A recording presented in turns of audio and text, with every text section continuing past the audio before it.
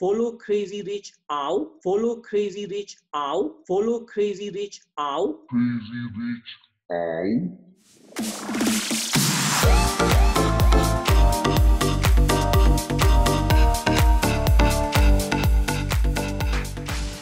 So how are you, man? Yeah, I'm good. I'm good. Hey, Moiz, I want to ask you, right? This um, Yeah. what is your full name for yourself? My full name. Yeah. Uh, Moiz Ali Saifuddin.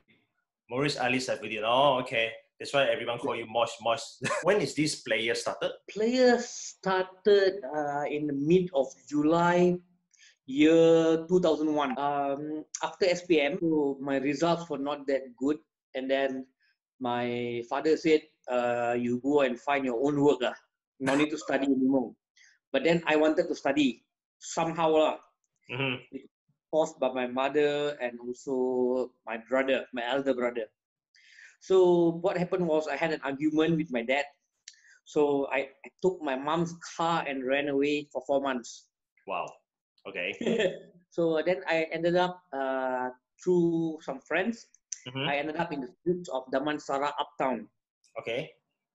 So uh, it was like a night bazaar. So I was selling uh, t-shirts using my mom's Nissan Sunny back then. Okay. All right. So, uh, using um, the car, just open up the booth, the Okay. car booth, and then just Car setting up. Sales. yes, shop, yeah, exactly like a car boot sale. So Ah, I was selling a lot of hip hop clothings like Pelle Pelle, Fubu, Triple Five Soul. These were the in brands back then. So uh, while reselling, then I started printing my own T-shirts. okay. And uh, back then, the brand was formerly formerly known as Uptown Players. Oh, your brand was uptown players. Okay.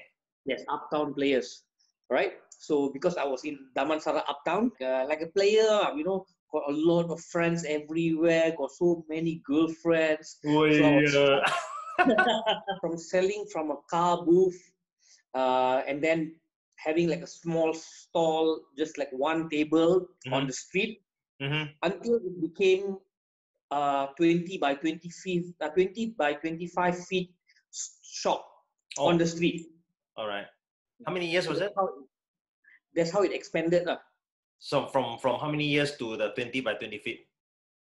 Uh, the transformation it happened within 24 months or two years. Oh, okay. All right. So from 2001 until the place closed down um, in 2005, 31st of December. So I remember this date like forever. ah, You know, it was like a very sad moment hmm uh, of uh, my life. But then it was also an opening for me. So hmm because while I was selling clothes in the night bazaar, I was still going to college. I self-funded my way through college because it made me very rajin because I was self-funding wow, my and my own money, you know, own money. Yeah, yeah, yeah. Once Uptown closed down, so I was fully focused like studying and uh, just selling clothes to friends only. Because the time we didn't have any sort of uh, social media. Uh, what happened was uh, I transferred my credits to a university in England. While I was working, uh, while I was studying in England, I flipped burgers in McDonald's for a few months because it was self-funding. So whatever money I saved uh, during my uptown days until 2005, so I managed to use that money uh, to complete my uh, education. So I came out with a 2.1 uh, honors degree in business administration. Wow. I specialized in uh, international marketing and international Wow. economic. So that was my achievement from whatever I did uh, from the night bazaar. So then when I got back uh, Malaysia in 2009, so I started doing a timber flooring business. I, I joined a friend okay. and then I made some little bit of money and I started back uh, my uptown players, formerly known, and I I minimalized it into Playaz. So this today I'm wearing my 19th anniversary T-shirt. Yay. So yeah, very proud uh, whatever I've achieved. You know, without uh, uh, until today still self-funding. Uh, without taking any loans or whatsoever. So I believe in my own philosophy.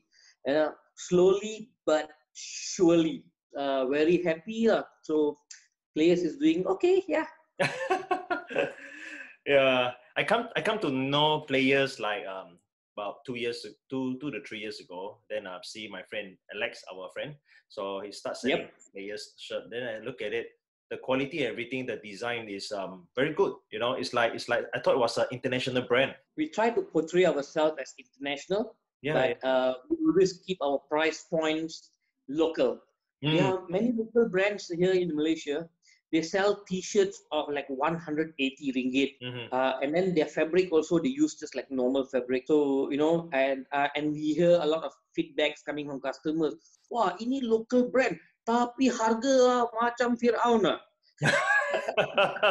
uh, yes, we, we care about customers' feedback is very important to us because our main concern is definitely quality, the end customer users experience. Mm. So uh, what we do, uh, like for Playaz, right, our unique selling point is uh, our our fabric. Yeah, it's very comfortable. I still keep mine. very Oh, nice thank you, Yeah, thank you. very nice to wear. It's it's it's soft and then uh it's it's uh I think it's very uh how to say it's very suitable for our climate here. It's Definitely. not windy, you know. Yeah. Because I wear it like almost every day. I'm selling T-shirts for like 20 years now. Hmm So you know, um, you want to feel comfortable, hmm and then you don't want to like feel like hot despite you're wearing like a thicker fabric. Yeah, yeah. So, uh, so uh, like uh, Playaz fabric, you can even wash like 50 times. hmm It's still soft. It's going to be the same. Uh, what you call your neck. You know, it doesn't go down like this, so it just stays the same. Yeah, yeah, yeah. So so is there is there um in-house designer or anything like you know to design your your shirt everyone anything? Yes, I do have a in-house design team.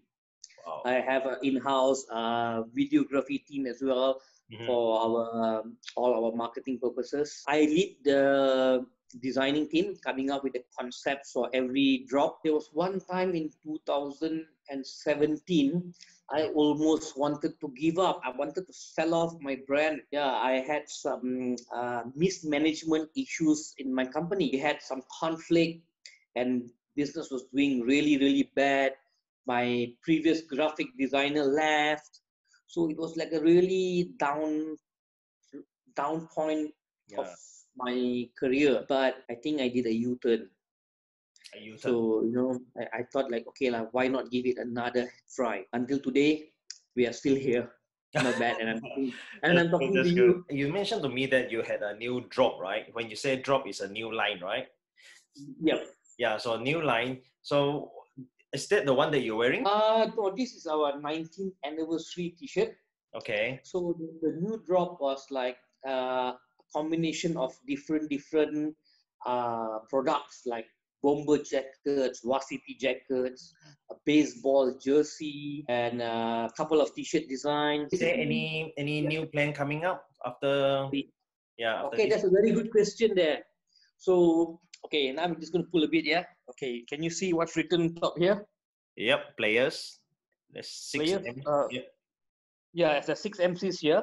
Uh-huh. So there's uh, Sigma, Ben Zulu, Bihad, uh, Kimi Kimo, Johnny, all right, and Luca Sikta, featuring with uh, DJ T-Bone, one of uh, pioneer DJs in Malaysia. We're going to drop Playaz' first ever single on the 31st of 7.